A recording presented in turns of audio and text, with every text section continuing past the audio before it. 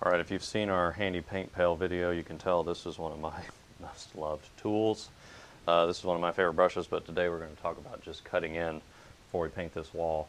Um, there's always that one person on the job that gets, typically you got one roller and one cutting in. The cutting in is the, uh, the fine touches needed. Well, I like a flat sash brush. Some like an angle. It's all preference. It's all what it gets you the crispest, straightest line. Um, when coming in and assessing a wall or a space that you're doing, after you've sanded and you've got everything ready to go, the last place you want to cut in is at the top. And the reason for that is that's immediately where the eye is going to go. So when you go into a room, you want to do your base first, go around. You never want to go too far into a project because you don't want to get hat banding. So you want to do one wall at a time. And the last place you want to cut is at the top so that you have that wet edge. The other thing you want to do is when you cut in, you want to give yourself some wiggle room. So when you cut down or cut out, you want to come out two or three inches and that gives you enough space so that when you roll, you're out here and not trying to be really tight and fancy right here.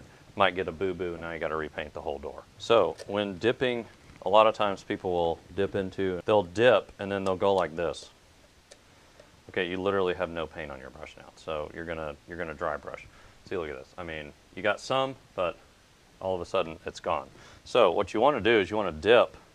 If you need to do a little bit, I mean, just shake it off or even just tap it. Now you've got paint. Now you're ready to do something. And so all you're going to do then is you're going to go up. I always do a little bit there, and then I go right to it, and I just come down. And then you can always back brush and, and fill in where need be.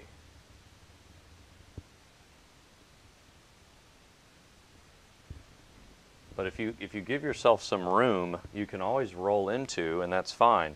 But if you only cut in and you just go like this, then all of a sudden you're, you're really just, it's not a good idea. You want to you wanna have as much, you want to make it as easy as possible. Um, the alpha brush also, which is what I'm using, um, is designed to, with an appropriate dip, so you have to have the amount, right amount of paint. You can do a seven foot door frame in one, in one dip, uh, which is pretty awesome uh, when it comes to painting jobs.